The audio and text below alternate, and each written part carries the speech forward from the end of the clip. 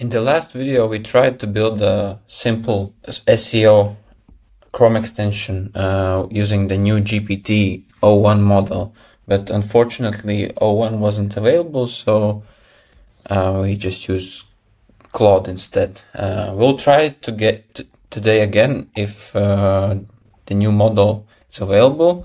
But uh, to remind you, yesterday uh, what we built was a simple extension that shows uh, marks with green do follow links in the website and with red uh, no follow. So let's go to cursor, uh, open uh, Composer, and let's start. Let's build a Google Chrome extension that uh, has following features. Mark do follow no follow links with green and red have a toggle in the settings that allows to either to shy, uh, hide or show this feature. Create table of all the links in the current page I'm in. This table should have following columns. Target URL, anchor text and link. Is, is the link do follow? And show checkmark if yes. Filter this table by all do follow, no, no follow have a second filter which allows to filter by all links, internal links, external. Allow to search by anchor text. Allow to export this table as it's filtered in that moment uh, to CSV. So these are our rules. Let's switch to o1 preview and see if it works. I'll copy paste for just in case. Okay, unfortunately it's not working again. Let's try mini.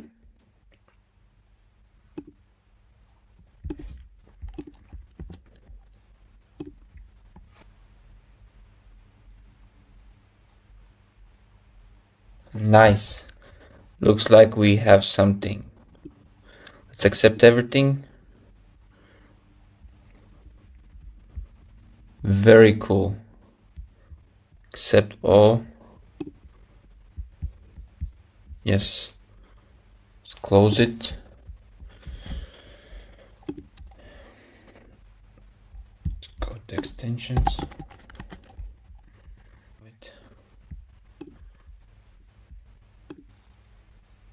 Link analyzer. Let's refresh.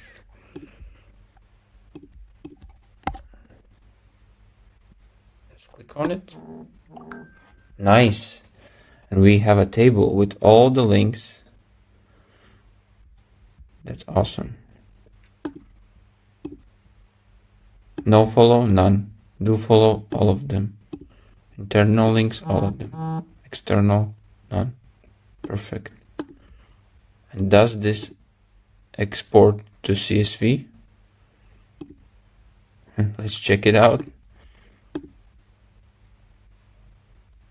Nice. Wow.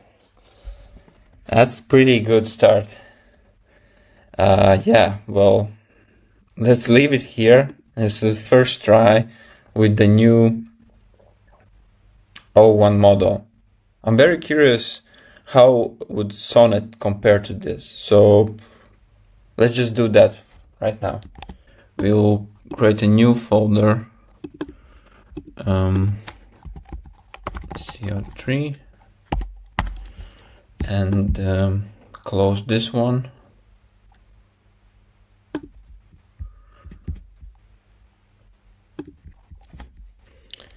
Then we open Composer, switch to Sonnet paste the commands and let's see what happens.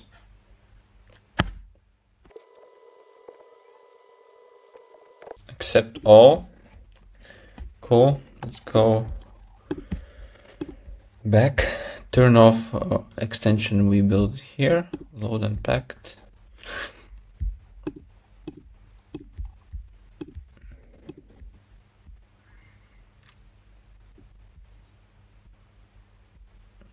Okay, it should be turned on.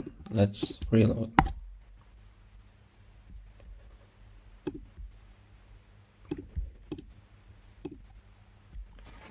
Oh, this type table looks even nicer. Let's put, put turn this on. Well, I must say Claude has done a better job here. Wow. Except where are my links? Let's reload.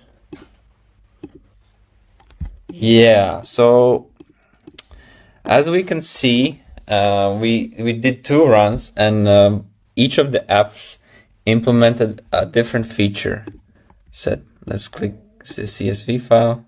That's empty.